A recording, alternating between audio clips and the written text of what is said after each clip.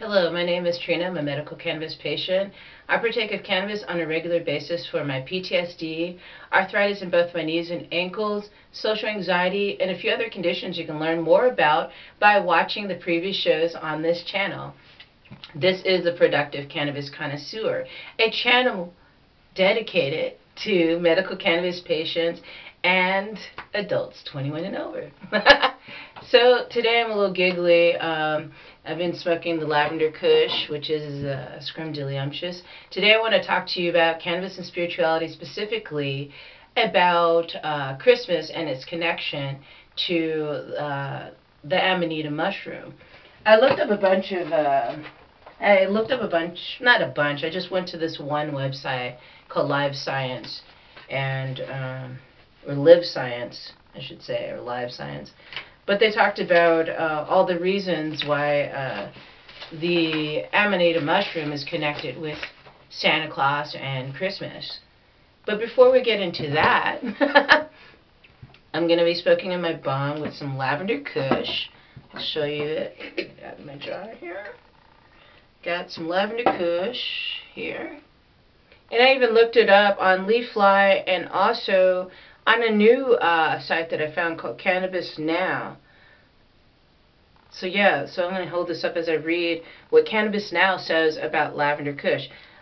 So, comprised of super skunk, big skunk, Korean and Afghani Hawaiian, Hawaiian, Lavender Kush is a deep indica strain that manages to put you under without without you hanging you without hanging you over. An anesthetically very beautiful strain, Lavender Kush meanders from light greens to pastel purples that can become quite dark in cold temperatures, all the while maintaining impressive trichome content that give this strain a fabulously frosty color. You don't see that on this one. Not at all. it's because it's been cured, guys, and it shrinks. The uh, the smell, Lavender's Kush smells like light and fruity with a kushy bottom end. The dry hit, tucking it before lighting it, treats your taste buds to a floral delight lurking underneath the loud, kushy overtones. The flavor dank, lightly sweet, lavender kush tastes very much as it smells, deep and dank with a hint of faintly fruity flowers in the aftertaste. The high. Lavender Kush offers a classic indica body high that makes you relentlessly relax Best not to make ambitious plans before partaking of this brain-scrambling, lazy-making delight. The slow build-up of the lavender kush bellies its powerful punch. It can knock you flat, and it doesn't take much to get there. Avoid activities that require any mental focus, and you'll feel free, and you'll free yourself to feel a comforting euphoria. Gently relaxing, like the plant it's named for. Lavender kush is perfect for a relaxing soak in the hot tub before bed, and it will completely, whoops, I sink, down there, it will completely delete any thoughts you had prior, make it, making it an ideal choice if you're feeling escapist. Once this kush has run its course, it leaves the system ever so gently, with no mental fogginess to cloud the memory of how good that just felt. The word lavender kush is not for those times you need to get things done while you're high from a recreational standpoint. It's best reserved for the end of the long workday. Right before bed, from a medical perspective, it's good for pain relief and it's obviously excellent for insomnia. With its commercially friendly flowering time of 8 to 9 weeks, Lavender Kush shouldn't be hard to come by. This is good because it's definitely worth keeping on hand for that, those late night bedside bong hits. So, what do I think about that review of it? I don't agree, with all of it because, like I told you guys, when I smoke cannabis, I smoke strains that are high in indica or purely indica. So that means I could smoke a hybrid, and the hybrid will be more indica. Now, I only have one strain that I smoke that is higher on the indica, I mean the sativa level, and that would be headband. So I was, you've seen me smoking on here. But I noticed that it's like coffee to me, the effects of it. And I don't drink coffee anymore. but I'll only I will only smoke so much of it. So then it won't cause anxiety like people people have left comments on my videos here talking about how they have anxiety from cannabis. And I think it could be the strain that they've tried. It could be the fact that they had an edible for the first time that they tried cannabis. Um, edibles can be very, very strong, and if you're not used to the the excessive the excessive amount of THC, it can uh, be very um, it can be very different for your body, and you're not used to it. Is what I'm saying. So anyway, enough talking. Let's smoke. Cheers.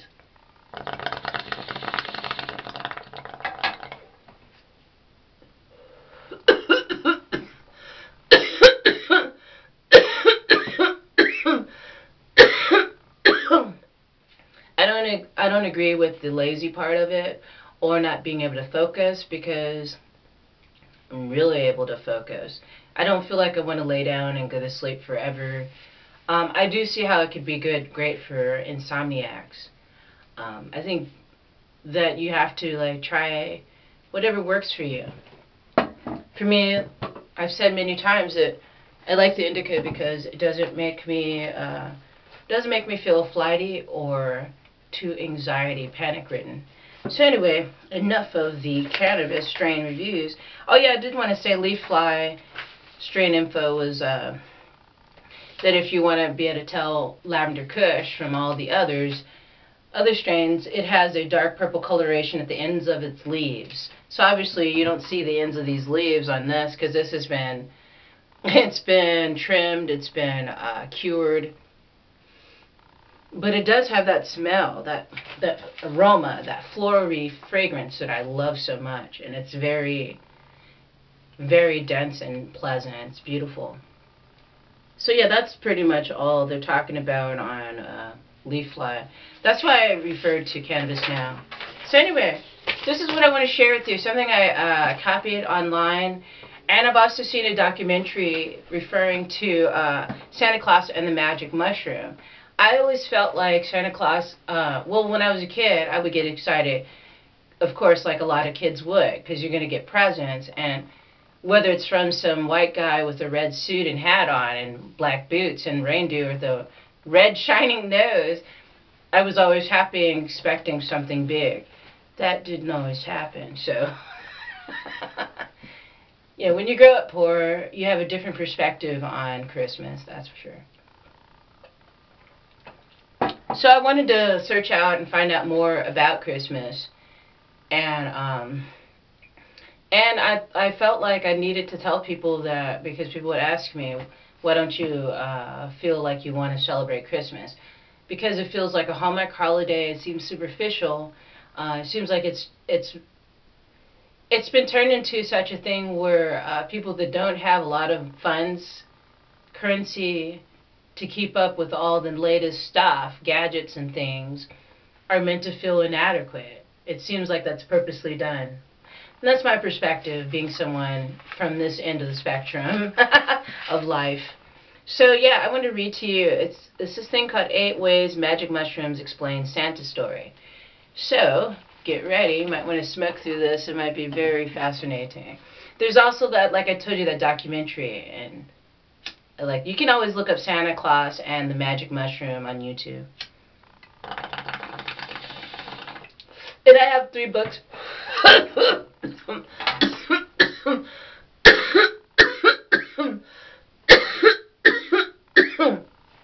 and I have three books on magic mushrooms that I'd like to share with you um, after I read these eight ways magic mushrooms explain Santa's story. So, Let's get into it. Number one. Arctic shamans gave out mushrooms on the winter solstice. According to the theory, the legend of Santa derives from shamans in the Siberian and Arctic regions who dropped into locals' teepee-like homes with a bag of bag full of hallucinogenic mushrooms as presents in late December. As the story goes, blow my nose, sorry. Alright. Don't want to have anything hanging on my nose while I'm reading to you. According to the theory, the legend of Santa derives from shamans in the Siberian and Arctic regions who dropped into local teepee-like homes with a bag full of hallucinogenic mushrooms as presents in late December. As the story goes, up until a few hundred years ago, these practicing shamans or priests connected to the older traditions would collect Amanita muscaria, the holy mushroom, dry them, and then give them as gifts on the winter solstice. Because snow is usually blocking doors, there was an opening in the roof through which people entered and exited, thus the chimney story. Sounds familiar, huh? Number two, mushrooms, like gifts, are found beneath pine trees. The Amanita muscaria, which is deep red with white flakes. Mm-hmm. That's just one of the symbolic connections between the Amanita muscaria mushroom and the iconograph iconography of Christmas. According to the several to several historians and ethnomycologists, or people who study fungi's influence on human societies. of course, not all scientists agree that the Santa story is tied to a hallucinogen. In his book, Mushrooms and Mankind, the late author James Arthur points out that Amanita muscaria, also known as fly agaric, lives throughout the northern hemisphere under conifers and birch trees, with which the fungi, which are deep red with white flecks, have a symbiotic relationship. This partially explains the practice of the Christmas tree and the placement of bright red and white presents underneath it, which look like amanita mushrooms. yeah, do you see that, man? It is, uh, it is a different perspective, isn't it? If you never heard of that perspective. But I'm sure a few of you guys have.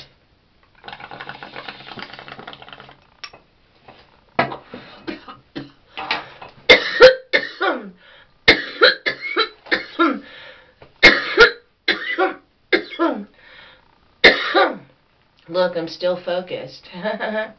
Lavender Kush. It doesn't make you unfocused. Not me, at least. Maybe a little bit more slowed down.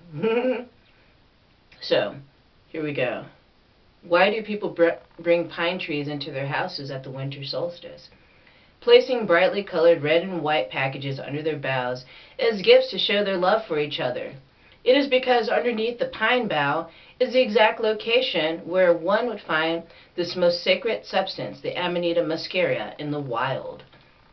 Note, do not eat mushrooms as they can be poisonous.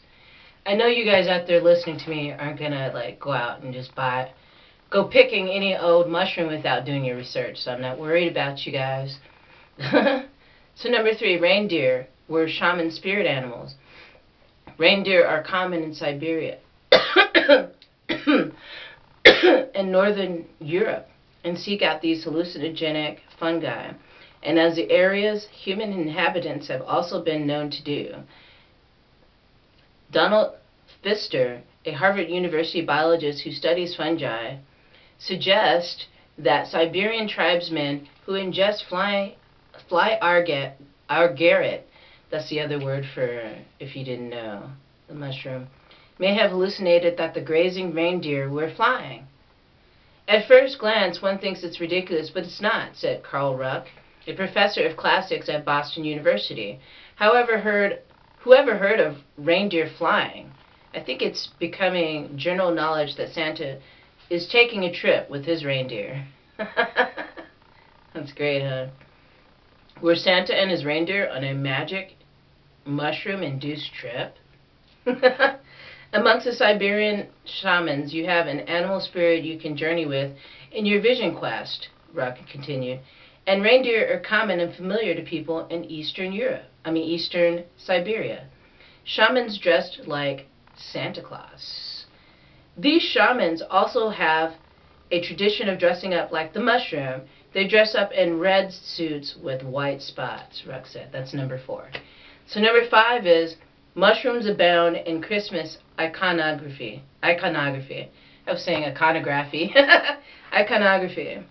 Tree ornaments shaped like amanita mushrooms and other depictions of the fungi are also prevalent in Christmas decorations throughout the world. particularly in Scandinavia and Northern Europe, Pfister pointed out. That said, okay, let me get this. this is really, uh, if you're interested in substances that awaken uh, certain parts of yourself that you never knew existed. I mean, that's how I see psychedelics. It kind of like opens your mind to a world that's always been there, but you just weren't aware of. So anyway, so mushrooms abound in Christmas iconogra iconography.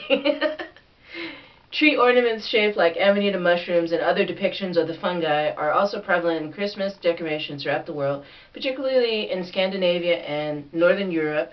That said, Pfister made it clear that the connection between modern day Christmas and the ancestral practice of eating mushrooms is a coincidence, and he doesn't know about the, any direct link. Hey, everybody has their own way of explaining things, that's for sure. Rudolph's nose is number six. Rudolph's nose resembles a bright red mushroom. Ruck points to Rudolph as another example of the mushroom imagery resurfacing. His nose looks exactly like a red mushroom. It's amazing that a reindeer with a red mushroom nose is at the head, leading the others, isn't it? Many of these traditions were merged or projected upon Saint Nicholas, a 4th century saint known for, known for his generosity as the story goes. There is little debate about the consumption of mushrooms by Arctic and Siberian tribespeople and shamans, but the connection of Christmas traditions is more tenuous or mysterious. Number seven. A visit from St. Nicholas may have borrowed from shaman rituals. Many of the modern details of the modern American Santa Claus came from the 1823 poem, A Visit from St. Nicholas, which later became famous as "Twas the Night Before Christmas, which you guys all know, I'm sure. The poem is credited to Clement Clarke Moore, an aristocratic ac academic who lived in New York City. The origins of Moore's vision are unclear, although Arthur, Rush, and Ruck all think the poet probably drew from northern European motifs that derive from Siberian or Arctic shamanic traditions. At the very least, Arthur wrote, Santa's sleigh and reindeer are probably references to various related Northern European mythology. For example, the Norse god Thor, known in German as Donner, flew in a chariot drawn by two goats, which have been replaced in the modern retelling of Santa's reindeer. Hmm, wow. Reindeer which aren't usually known to fly right? Other historians are un unaware of a connection between Santa and shamans or magic mushrooms, including Stephen Nessenbaum, was a Nissenbaum, who wrote a book about the origins of Christmas traditions, and Penne Restad, Restad of the University of Texas at Austin, both of whom were contacted by Live Science. And this is where I'm getting this information from, is the website called Live Science or Live Science so just livescience.com. Santa, number, so this is number eight, the last one. Santa is from the Arctic. The Arctic. I always say Arctic instead of Arctic. One historian, Ronald Hutton, told NPR that the theory of a mushroom Santa connection is flawed. If you look at the evidence of Siberian shamanism, which I've done, Hutton said, you find that shamans didn't travel by sleigh, didn't usually deal the reindeer with reindeer spirits, very rarely took the mushrooms to get trances, don't have red and white clothes. How does this guy know? How does this Ronald Hutton know this? You know, did he hang out with Siberian shamans? I'm not saying I don't know if he did. Did he hang out with them? Did they did he watch how they practiced this uh, supposed event? Do, does he know for sure? I mean, that's the thing. You can be called a historian, but is that based on hearsay or is it based on actual seeing what happened? That's how to say about this guy. and so, so, but Rush and Ruck disagree, saying shamans did deal with reindeer spirits, and the ingestion of mushrooms is well documented. Siberian shamans did wear red deer pelts, but the coloring of Santa's garb is mainly meant to mirror the coloring of amanita mushrooms, Rush added. As for sleighs, the point isn't the exact mode of travel, but that the trip involves transportation to a different celestial realm. Sometimes people would also drink the urine of the shaman or the reindeer, as hallucinogenic compounds are excreted this way, without some of the harmful chemicals present in the fungi, which is broken down by the shaman or the reindeer. People who know about shamanism accept this, his, this story. Is there any other reason that Santa lives in the North Pole? It, it is a tradition that can be traced back to Siberia. So, fascinating, right? Wouldn't you say? I'd say it's quite darn right fascinating because there's so many people get in a tizzy over this holiday season, this this season, this this day called Christmas. Everybody's heart's pounding. Everybody's face is breaking out with zits and stuff because they're stressed out, don't know if they're going to get it, get that right present. You know what I'm saying? That's why I can't really feel Christmas, really. I don't feel it.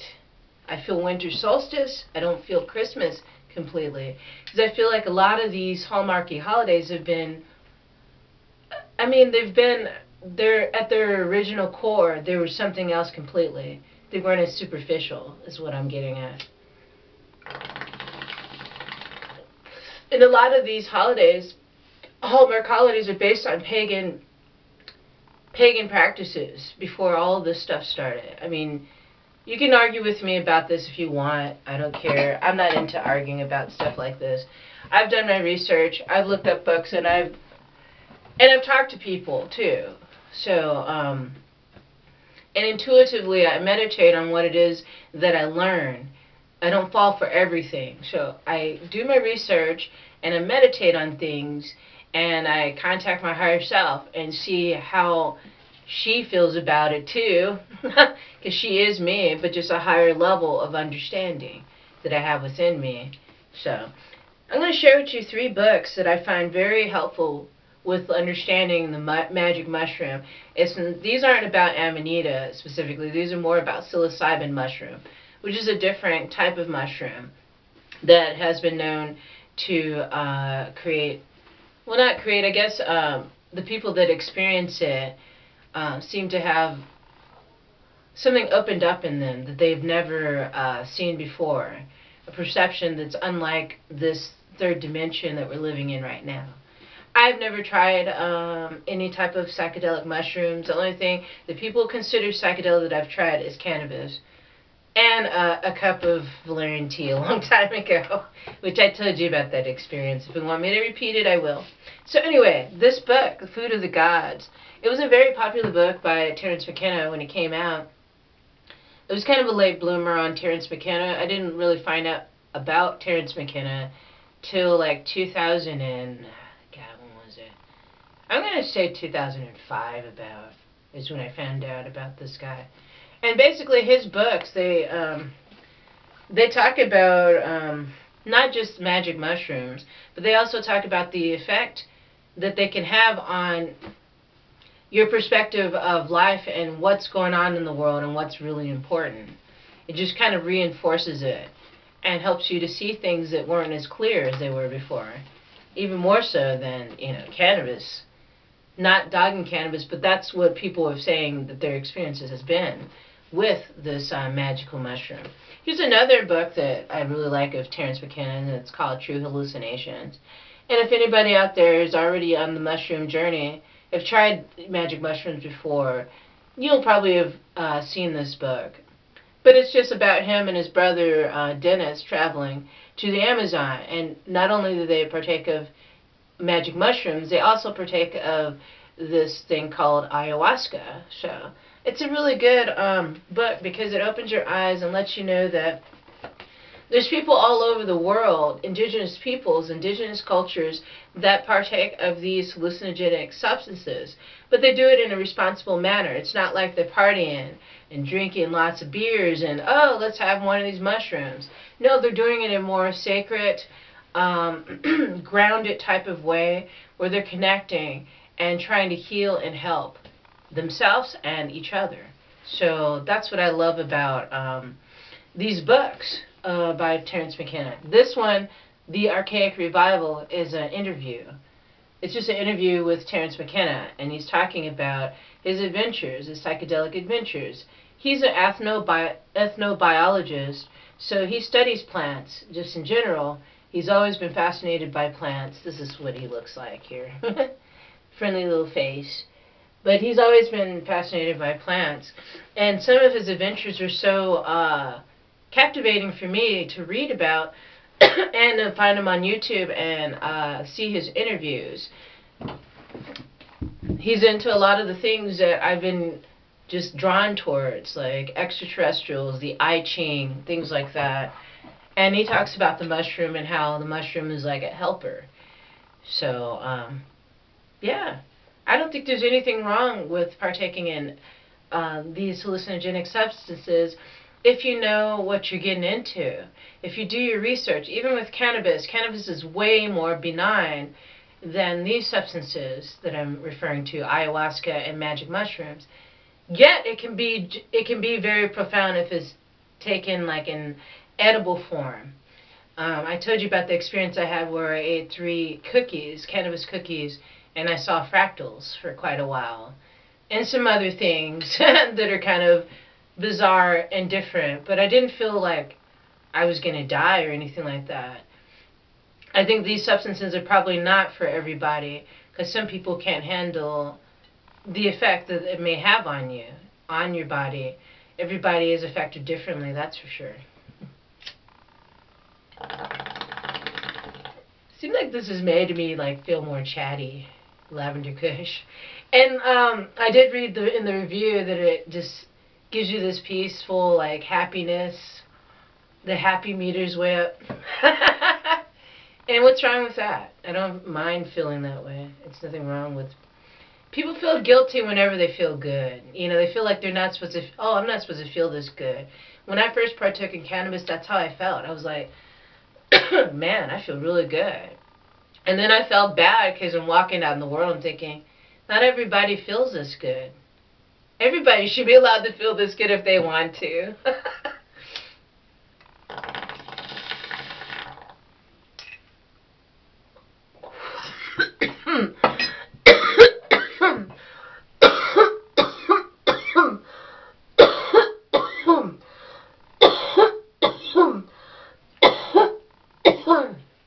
Marvelous. So, yeah, it's fantastic. I hope you enjoyed today's show where I was talking about the magic mushroom and how it connects with Christmas and Santa Claus. Because um, it makes so much sense to me, at least. I don't know if anybody else agrees. But, you know, do your research. That's what it's all about.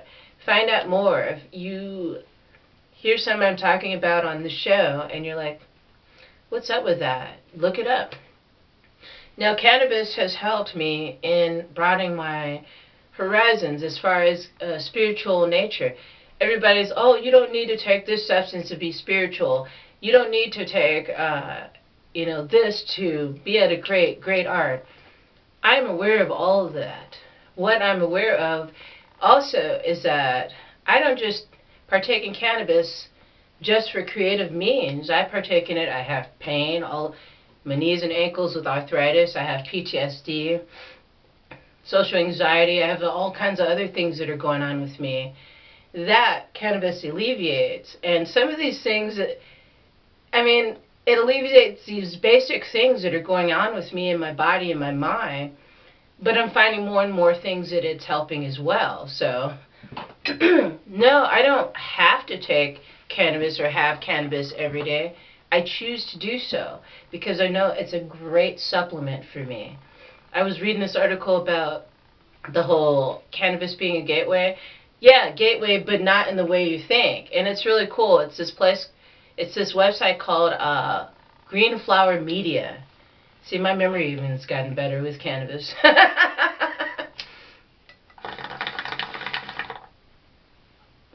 so anyway.